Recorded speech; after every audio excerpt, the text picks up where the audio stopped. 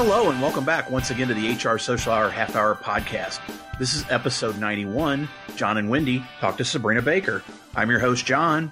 And I'm Wendy. How are you, Jon? Wendy, I'm well. It is, uh, we're into the 90s now, uh, wow. and that's exciting. Yes, it and is. it's also exciting. This episode is coming out right before the November chat. Yes. I'm having a hard time believing it's already November, I'll be honest, because I'm not quite sure what happened to summer. Still kind of in that mode, but um, so excited that we are going to be uh, chatting about employee recognition with our friends from Bonusly. Really excited to be able to do that. Yes, yes. Uh, we've been talking to Ben with Bonusly since, wow, I guess SHRM uh, yeah. this summer. We had a chance to meet. We we met the gratitude shrub, one of my yeah. favorite things that anybody had at the conference.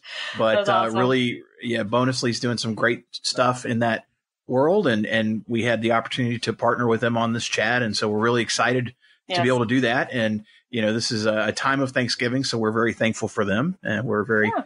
thankful for you know everybody that takes part. So we hope that you will take part in. I guess Wendy will will spoil the. I don't think it's necessarily a surprise. you know, not every year have we done a December chat. It really no. kind of depends on when it falls. Right. This year, though, because it is several days before Christmas mm-hmm. and and travel schedules and such, we will be having a December chat. Yes. So more to come there. Excited to have this chat in a few days, and then we'll round out the year, kind of a 2019 year in review, all the great stuff and all the things that we uh, should be thankful for and reflect on as we get ready for can you believe it? 2020. No, i absolutely uh, insane. Uh, the Roaring Twenties. Here we go. the Roaring Twenties, indeed.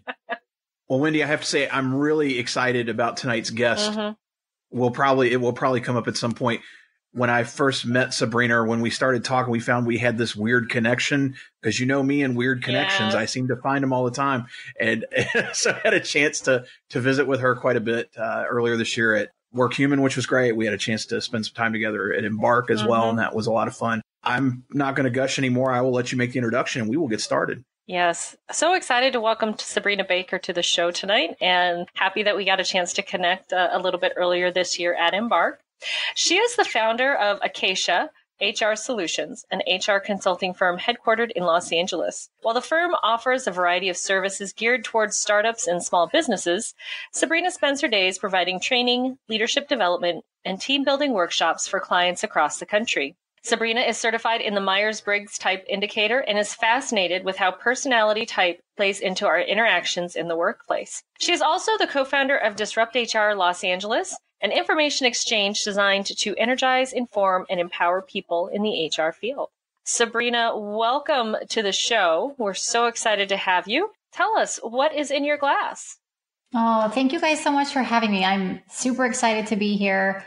Um, I, you know, I rotate a little bit. I'm typically a gin and tonic girl, but I am from Kentucky, Jon, right? We have that, that connection. And so um, I've also been known to enjoy some bourbon from time to time. I feel like being a Kentucky girl, you have to. So, you know, I, I kind of like, it's still early in LA right now, so I just have water. But if I had a nice glass, it would definitely be uh, probably a gin and tonic or maybe an old fashioned.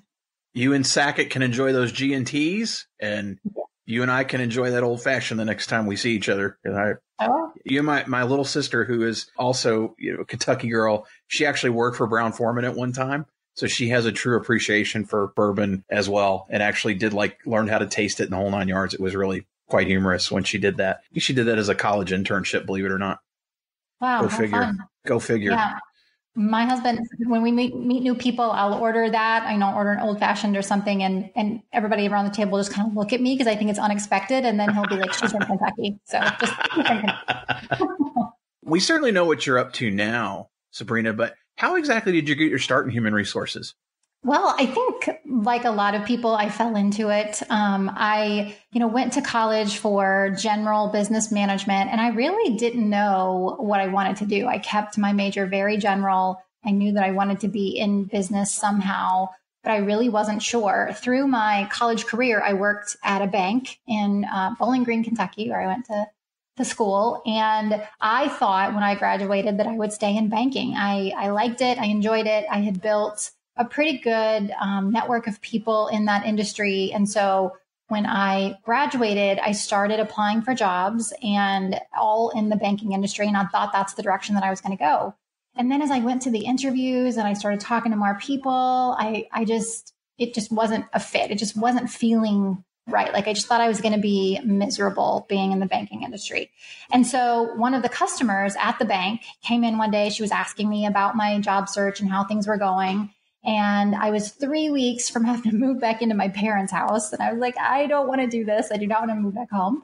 Um, and she said, Hey, my daughter works for um, a retail company in HR looking for a generalist. Do you want me to send her your resume? And so uh, I said, Yes, please.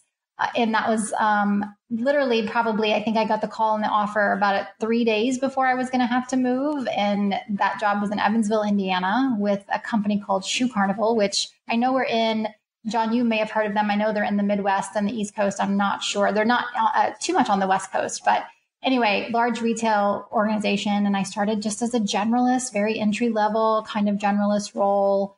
Um, and that was my first job in HR. And then it's just kind of grown from there. Um, I did nurse recruiting for a while. And then I worked for a call center company, which is crazy town, um, working for a call center uh, absolute crazy town. I could write a book just on employee relation stuff that happens in a call center.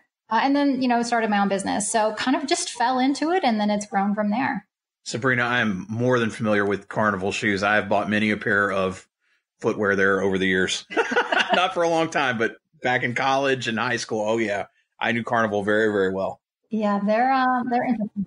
I think that's where we bought my uh, oldest daughter's first pair of shoes back when we were living in Virginia. So yeah, awesome. kind of. So Sabrina, you've recently mentioned that you, uh, or you just mentioned that you started your own consulting business. So talk about what went into that decision and how you found your niche. Um, as I said, I was working for a call center company. So my last seven years of corporate HR life was in this call center. And I was a director of HR. I had five domestic and two international call centers that reported up through me. I was traveling all the time. Um, it was a very busy life. And in 2010, I went on maternity leave with uh, my first and only child. And uh, three weeks before I was supposed to return, my boss called to let me know that I was going to be laid off.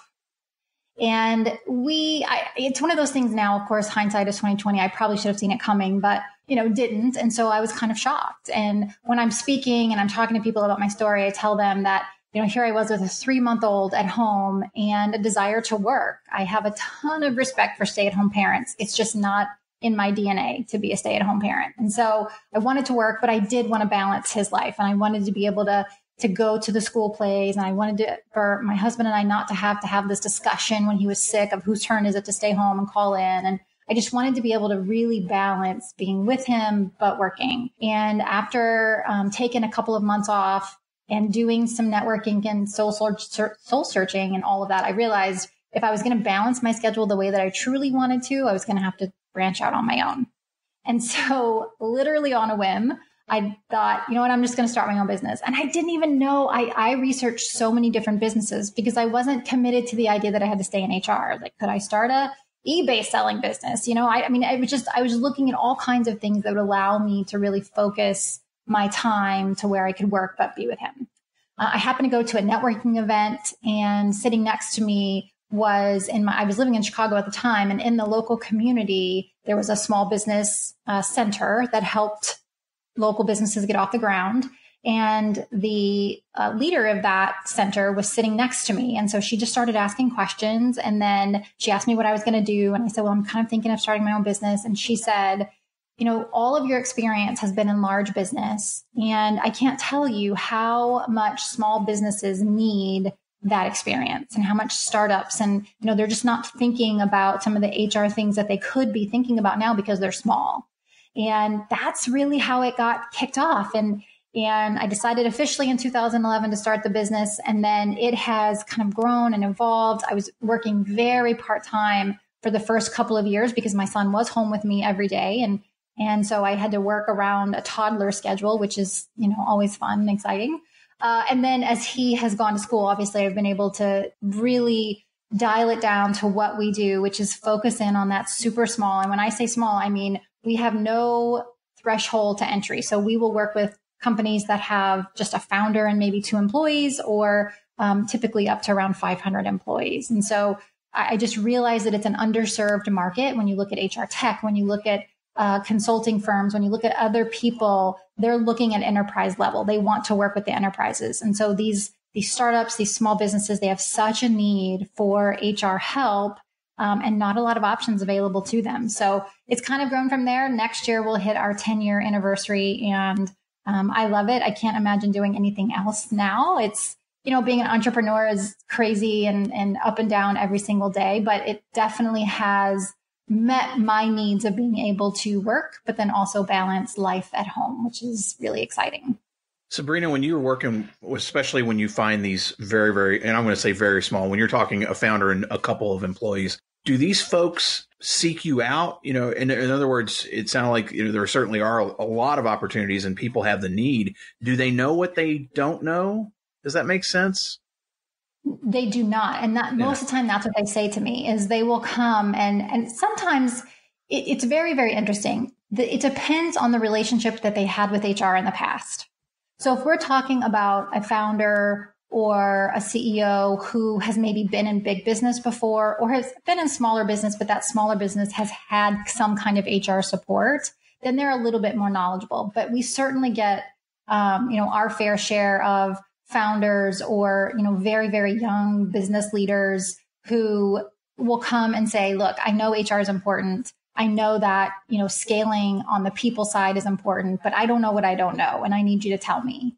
And you know, what we really pride ourselves on is that we, we want to help them get past the compliance piece. So I'm in California, right? And, and so compliance is, is nuts here and it's very, very difficult to navigate as an employer. But really we want startups and small businesses to think about how do we scale programs now at a when you're small it's easier to start thinking about employee engagement and culture and those things when you're small and then scale it as you grow and so getting entrepreneurs getting founders to think about those things is really um, you know they'll they'll come to us for one reason but then we're able to kind of open their eyes to what about all these other things that you know hr can do and that is important for your business as well? I think it's great to hear that people will acknowledge what they don't know and, and hopefully they are coming with i guess a more positive approach or, or perspective when it comes to that let, us kind of flip the script a little bit when it and, and talk more from the practitioner side. We did have the chance to see you present at embark about basically the topic being stop asking for permission and and really how as practitioners how to become true business partners. So taking your experience from from the big business and now what you've done working with these smaller companies what advice or tips would you offer up to those folks that are listening that maybe they're at a point where they want to be they're not seen as that true partner. They want to get there. What what can you tell them tips or tricks they could do to, to do that? Yeah well i think the biggest thing is really in that title of that session right that i did at embark and that is um, that oftentimes what i find is that hr practitioners they're waiting for permission. They're waiting for their ceo or their boss to walk into their office and say, Hey, I now give you permission to be a business partner. I now give you permission to think strategically and to, um, you know, create programs at a strategic level. I give you permission to get out of the day to day administration and to be and to act as a true business partner. And that's just not going to happen, right? That person is not going to walk in your office or your cubicle and say, okay, yesterday you didn't have permission, but today you have it. And so I encourage HR practitioners to really just be that leader, start acting like it, you know, start taking the, the reins on some of these things that you probably have the ability to do, but maybe you don't even realize it because you've never tried it. You think they're not seeing you as a business partner. So you don't try to suggest um, your ideas or you don't, you try not to, you don't work on the things that you want to work on because you assume that people are just going to knock it down anyway. But because you've never tried, you don't really know. And so I think part of it is a mindset. Part of it is we have to get out of this mindset that we're waiting for someone to pull out that chair. Uh, because they're never, they, they may never do that. They may never invite us in. We, we kind of have to take that on ourselves to say, Hey, I'm here. I have ideas. I can contribute at a much higher level than just processing your payroll. Let me show you. And, and so I think that's, that's the biggest, the, the, first step that we have to do is get past a, a mindset piece of it. I think that's true. I really agree with that. We need to just jump in and do it, but we're polite folk and we're wait, waiting for someone to to say it's okay. So I like that. Uh, I like what you shared. Yeah, and you know, I think what happens is they're, they're we're fearful that they're going to say no, or right. we're fearful that they're going to push back on us, and that can happen. Like I'm not naive enough to think that there are workplaces that will be like, no, that's not what I want out of HR. But at least if that happens, you know then that that's not the place for you, right? You you know then that this is a place that's never going to see me that way. So why do I continue to give them my my time? My, you know, it's time for me to maybe find something else. And so, um, yeah, I think that. I mean, of course, there's more that goes into it, but I think the first step is just us getting past that fear of. Um, or just getting past that we're too polite mm-hmm. and, and getting to the point where we can say hey I, I can contribute more here and i really want to do that and, and, so, kind of along those lines, you're being a little disruptive, um, and you've been very active in that. You brought Disrupt HR to LA, which is fantastic. Um, so, you and I have that in common because I brought it to uh, my town, Brookings. So, I, am always curious too what's uh, got you interested in bringing Disrupt to LA, and what's the benefit that you've seen? Yeah, so I have loved Disrupt since Jennifer started it. Um, you know, Jennifer and I have been uh, connected for many, many years. And so I followed, as many people do, what she does and listened to everything she says. And when she started it in Ohio, I immediately saw the results or, and the feedback from that first event she had there. And, and the minute she started, you know, allowing other cities to look at it, I knew that I wanted to be a part of it. At the time I was in Chicago, we were in transition, getting ready to move to LA. So I had talked about maybe starting one in Chicago and then we found out we were going to move. And so I waited. And when I got here, I talked to her about starting an LA chapter and she said, well, we have one in Orange County. And normally there's a rule that you can't have, I think it's 65 yeah. miles, maybe you can't have two disrupt within 65 miles. So I, I didn't know anything about Los Angeles and Orange County at the time. But if you two don't know anything, let me just tell you that people don't cross the line. So they call it the orange curtain. And uh, even though we are literally, you know, right next door to one another, people from LA don't go into Orange County, and people from Orange County do not drive up to LA. And so after the first one in OC, I called her and I said, "We can absolutely have our own chapter in Los Angeles. Please let let's do this." Um, and so that started in 2015. We just had our sixth one in October. And I absolutely love it. And I love it for a couple of reasons. One, I love the format, the five minute you know 20 slides that auto advance i think it it's kind of like a performance i tell people all the time i've been speaking for years and disrupt hr talks are the ones that i practice the most because that timing is so mm-hmm. crucial mm-hmm. Uh, and can really mess you up if you get off of it but i love that no topic is taboo. And i think that I, you know i go to a lot of industry events a lot of conferences and sometimes we have to really play it safe. And, and we can't really talk about some of the tough topics that are happening every single day in our workplaces because um, we you know we need to be a little bit more politically correct maybe in some of these some of these events. And so i love that with disrupt it's absolutely you know no topic is um, out there and you know any topic can be discussed and and people seem to really be able to bring like here's truly what i'm facing in the workplace here's the really difficult stuff that i'm facing let's let's talk through it. Um, and so I think the benefit has just been bringing some of those topics to light and, and talking through, even in that quick five minute format, what people are doing around those things. I think with the five minute format, you get just enough to tickle your brain a little bit, yeah. right? Like it's not a whole hour and a half session where you get all these like five step plans. It's five minutes that if the speaker does their job well, you're able to walk away and really be thinking about it and kind of process what they're saying and, and apply it to your own situation. And so I, I'm a big fan. I tell people wherever I go, like if you have a disrupt in your city, you need to go. Yep. Um, because it's just different than any other event. And I, I, I find that I get the most out of those little quick hit talks than I do out of some of the longer talks at other events. It's spoiled me. I can't sit through the 45 minute, 75 minute sessions anymore. like, no, come on get to the point. Next topic, next topic, next topic. But no, mm-hmm. I agree with you're, you're, there's a little bit more freedom in the disrupt talks to address some of those some of those issues that we you're not going to address in a 75 minute session. Kudos to you for bringing that to yeah. uh, that to LA. I'm sure if it was needed here, it was needed there. That's for sure. Yeah, yeah, it was it was needed here. Our first one, everybody kept coming up after saying, "Oh my gosh, this is so needed. Um, it's so fantastic," and we we get a really a good response. Um, and, you know, we've had amazing speakers. So I love it. It's an event that I will continue to do for as long as I can. Sabrina, it is now time for everyone's favorite part of our show, the half hour question connection. So we always start with who is your first professional mentor and what was the most important thing you learned from them? So my first professional mentor was uh, when I moved out of my first generalist job. I moved into a nurse recruiting job in Chicago for a large hospital system that had about 125,000 employees. And at that time, I'm going to date myself, but at that time, nurse recruiting, there was a, a massive shortage in nurses, massive. And nurse recruiting was uh, like the tech recruiting of today. I mean, it was really, really difficult to find nurses. It was extremely competitive. And in a big city like Chicago, you had large hospitals that were literally giving away cars for nurses if they would come and, and join there because it was so competitive my boss in that role was a uh, nurse practitioner. She had been in the nursing field her whole career, and she was what I call a silver tongued devil. Um, she could give you, you know, she could have any conversation. First of all, she could find a way to say anything.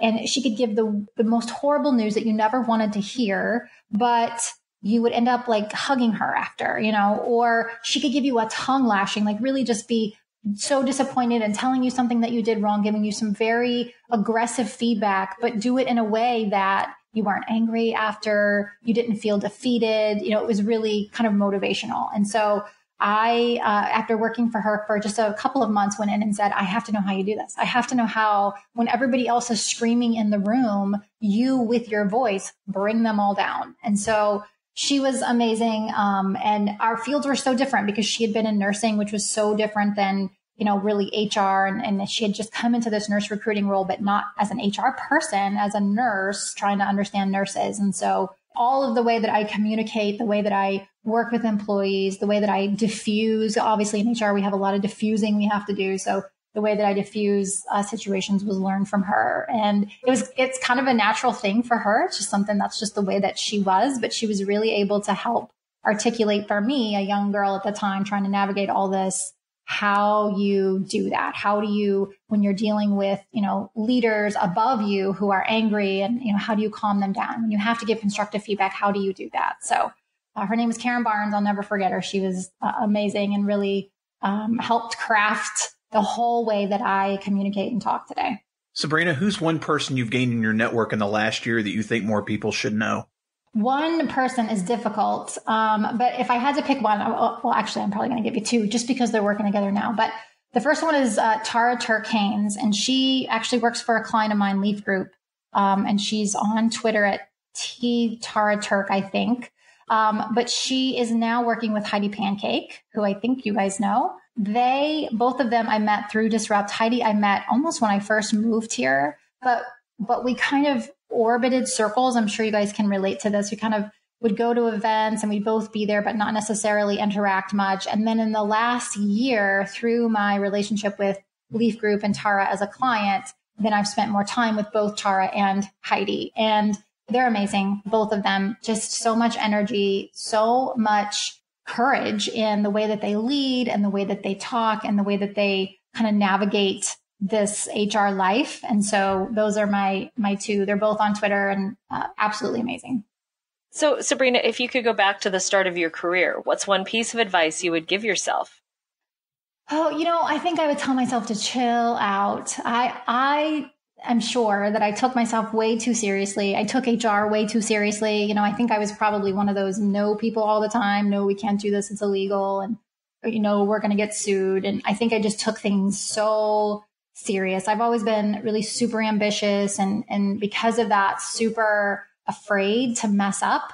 Um, or afraid to derail my career, you know, just always thought something catastrophic was going to happen. And so I, I really kind of overworked myself and took things just way more seriously than I needed to and and and still find myself doing it. I still have to tell myself to chill out even now. But definitely early on I would just tell myself to calm down, chill out. It's going to be fine. You don't have to be so serious all the time. You can lighten up and have a little fun even if you are the HR person. Sabrina beyond disrupt, how else do you enjoy giving back to the HR community?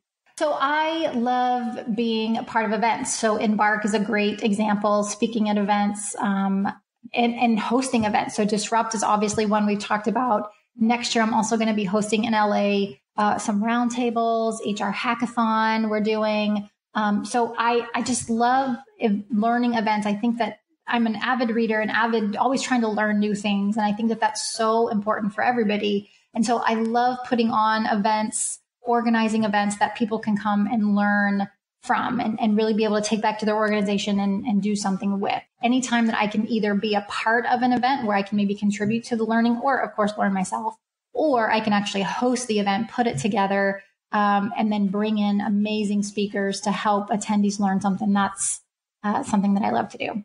I need to know more about this HR hackathon. What is that?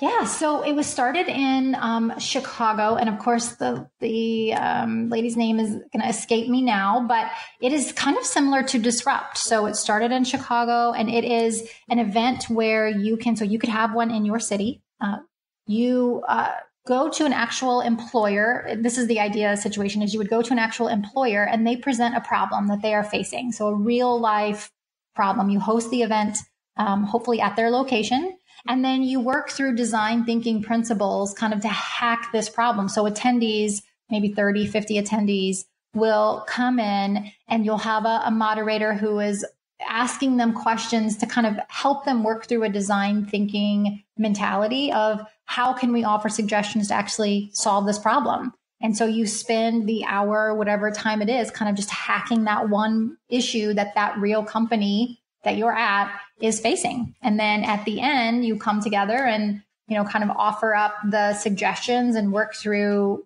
what might work to be able to, to solve this. And, and it can be anything. We haven't done one here in LA, but um, my understanding is that the problem can really be anything, you know, people related. So it can be engagement issues, culture issues, communication issues, whatever that is.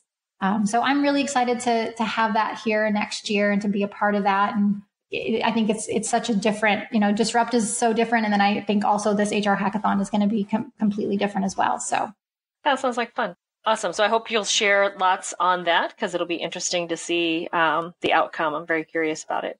Sabrina, what is your favorite movie? Oh my goodness. So by default, by marriage default, my favorite movie has to be Goodfellas uh, my husband's from Chicago and, you know, I was always fascinated with mafia. I don't, I don't watch a lot of movies. So I don't know that I, I really have a favorite, but that's the one that when you, when I saw this question, I thought it has to be Goodfellas because that's what I've had to watch since I got married is, is Goodfellas every single time it's on the TV. How about your favorite musician or band? Uh, you know who I'm really into right now is oh, Pentatonix or any kind of acapella. Like I have just been on this thing for the last couple of years where um, I, really, my music is all over the place. My husband's the baby of eight children, so being that his his musical interest spans all kinds of decades, and that's what we end up listening to is all over the place, literally. But for me, if I have control here, then it would be like a cappella or anything, anybody that does different, like takes a song and then completely switches the style of music. I recently saw, uh, I can't remember the group, but Wayne Brady's song Thriller uh, like jazz style with tap dancers and you know like Michael Jackson's yeah. Thriller and switched it up to to be it was so cool. So I love anything like that. Um, but yeah, acapella. I'd say, I'd say Pentatonix. I saw them last year at the Hollywood Bowl, which is was amazing. Uh, kind of an open air theater here, so I'm I'm digging them lately. Cool. How about a favorite TV show? So probably Friends. That's the one that it's almost like my white noise. That's what I have on all the the background all the time. You know, it, it started when I was starting in college, so it was a perfect kind of fit for me. That's uh, what I seem to be the that seems to be the show that I watch over and over, and you know, from start to finish. Uh, if you asked my family, they would tell you it would be something like Snapped or some kind of true crime. I don't know if you guys know what Snapped is, but it's like true crime of like women who have lost their minds and gone after their husbands. So uh, my husband gets a little worried all the time because that's always on the TV. so he thinks I'm trying to get ideas. But yeah, I'd say the one that I come back to all the time is is probably Friends. Sabrina, I think it's safe to say we've never had anybody say they've had a favorite movie by default. I think that's new. I think the Wayne Brady song you're thinking of is is it Postmodern Jukebox? Probably who it yes. is because they those yes. folks are incredibly talented and write a lot of cool stuff. I think we, if you're looking for a friend's podcast, Heather Darroux, who's the president of HR Florida, has a tremendous podcast. I'll plug a, a non HR show called uh, Handbag Marinara, which is awesome. Wendy's listened to it too. It's very entertaining. And I think you're also the first person that's ever talked about the fact you watch a crime show that somebody thinks you may be trying to consider what you're going to do with it, that which is a little disheartening. I'm not going to lie. Isn't that funny? Every time he walks in the house, he's like, he tells his friends all the time. He's like, I swear she's plotting something because every time I walk in the house, she's watching snaps. And yeah, I, I mean, I'm not, I'm just fascinated. I am fascinated by the fact that people can lose their minds that much and do that. like it just blows my mind that he really thinks I'm plotting. Well, well, that, that's going to lead me to my next question. If you're if you're not watching Goodfellas, not listening to Pentatonix, or watching Friends or Snapped, what else do you like to do outside of work? And please don't say trying to plot some kind of horrible thing. Yeah, no. Um, so I love cycling. That's kind of my away. I'm an introvert, and that is my introvert time is going out and cycling. I live in LA, so we have this gorgeous weather and gorgeous landscape to be able to to get out on a bike and ride for hours. Um, and then I have a very, very busy nine year old. So he's into theater and has decided he wants to be an actor. So he's doing plays and singing lessons and all kinds of things. So if I'm not running him somewhere, I am probably riding my bike. So finally, Sabrina, if you weren't in the HR profession, what do you think you'd be doing? You know, my whole life since I was a little girl, what I wanted to do was uh, be a lawyer. I really thought that I was going to be a lawyer. And all through high school, I mean, that was kind of, you know, grades and, and all of that stuff. And then I realized that getting into a school where I could go to law school was going to be more difficult than I thought, both just from a, a, a grades perspective, but also financially. And then when I got into college, I was like, no, I just want to get out of this and be done. I don't think I can keep going to, to go to law school. Um, so I didn't. But I, I think that if I if I weren't in HR and had I really kind of followed what I thought I was going to do my whole life, I would definitely be a lawyer. Well, Sabrina, we're glad you're not practicing law. We maybe would have connected potentially. You know, we do have some employment attorneys on this show, but if you weren't doing what you're doing now, we probably wouldn't know you. We probably wouldn't had the opportunity to talk to you tonight incredibly glad that we've had this time and that we had a chance to find these weird connections. And yes, uh, we didn't really talk about too much, but your alma mater is where both my parents went to school, which again, nutty, right? In this big picture of, of life. Having said all that, probably some listeners that don't know you or haven't didn't know you before now that will want to get connected. What's the best way for them to reach you out there on social media?